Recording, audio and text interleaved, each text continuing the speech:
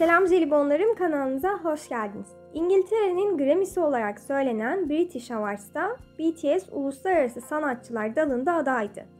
Ve bakın ne oldu BTS değil adını bile tam bilemediğim kız kardeşlerden oluşan Haim grubu kazandı. Tabii ki bu sonucun ardından ARMY'ler sistemlerini sosyal medyada gösterdiler. Ve tepkilerin ardından da grupta BTS'i seviyoruz şeklinde Twitter'da bir paylaşımda bulundu. Haim grubu törende verdiği röportajda BTS'ten bahsedip BTS nerede? BTS burada değil.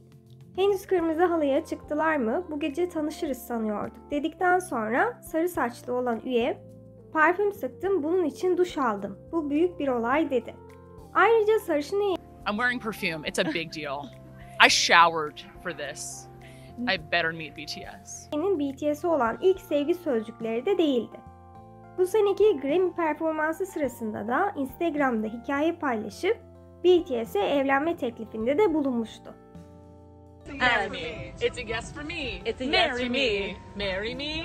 Yes for me. Please marry me. Grupta ödülü kazanmalarına değil, BTS ile beraber aday olabilmelerine sevinmişlerdir. Çünkü BTS'in hakkı olduğunu onlar da farkındalar. Yani iki grubun takipçi sayılarına ve izlenme sayılarına baksanız bile bu sonuç hemen fark ediliyor.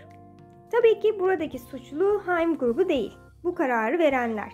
Sırf BTS'in popülerliğini kullanmak ve ARMY'lerin dikkatini ödül törenine çekmek için BTS'i aday gösteriyorlar.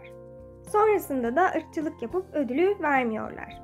Sizlerin de bu konuya dair görüşlerinizi merak ediyorum. Hepinizi morluyorum jelibonlarım. Hoşçakalın. Do you have a favorite member of BTS? V. Yeah. V. They are For here. V. We will.